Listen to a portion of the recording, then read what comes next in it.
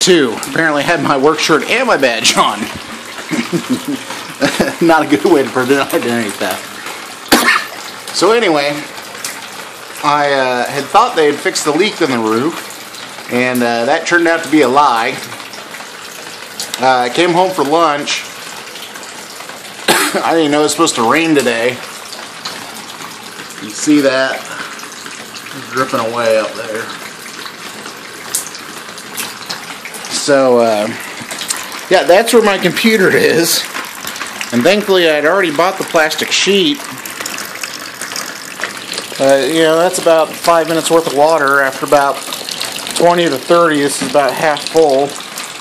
And it's got buckets everywhere, water everywhere. You can see it reflecting there. TV, shade, and I'll show you how heavy it's raining. It shouldn't be enough to quite warrant that, but when you throw in the snow that's already there, it's probably a pond on top of the roof. Got a drop ease roof. And so, uh, apologize for the messy apartment. I didn't think I'd be doing anything today. Um, but yeah, thankfully I'd already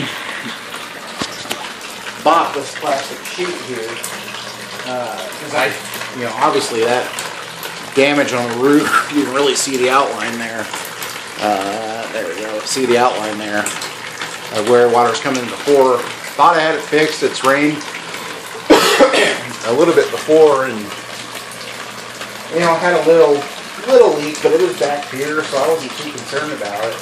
Came home from lunch and uh, making a sandwich right here on the desk. Uh, watching some uh, Netflix and uh, started to feel wet on my hands. Like great, I you know dropped my hand in my sandwich, get mustard on it, look down, and it's dripping on my sandwich, and so started here.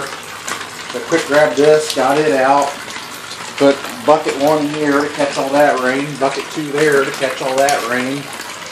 Uh, big bucket I had there, dumped dumped everything out of it.